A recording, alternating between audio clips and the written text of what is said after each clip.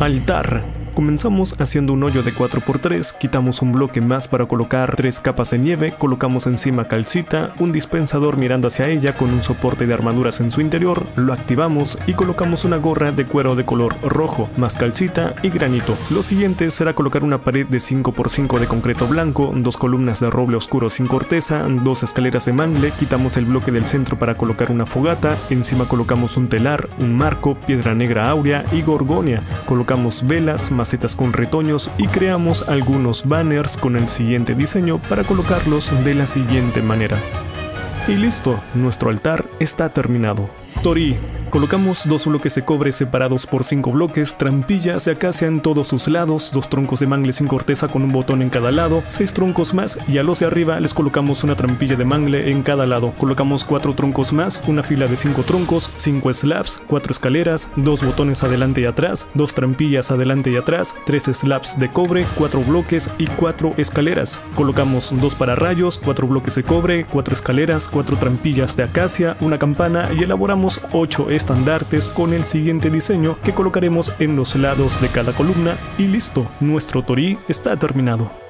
Armadura reliquia. En la pared que queramos hacemos un hoyo de 3x3, colocamos 4 escaleras y 5 bloques de piedra con un botón, 3 tablones de mangle, 2 trampillas y un letrero de la jungla. Colocamos paredes andesita, maceteros, bambú y hojas de cerezo. Colocamos un soporte con armadura que queramos y encima dos bloques de vidrio que empujaremos con un pistón dos veces. Colocamos una trampilla de mangle, velas, estandartes y listo. Tenemos una armadura reliquia en exhibición.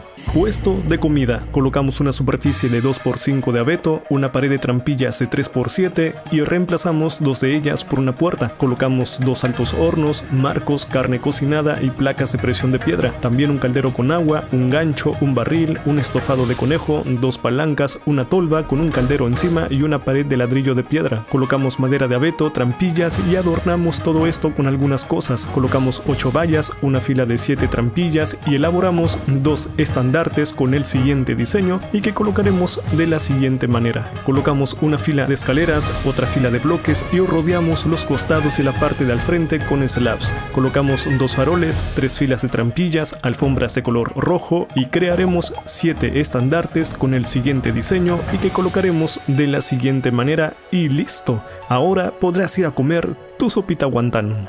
Un agradecimiento muy especial a todos los guardianes del canal, que tengan un grandioso día y hasta la próxima.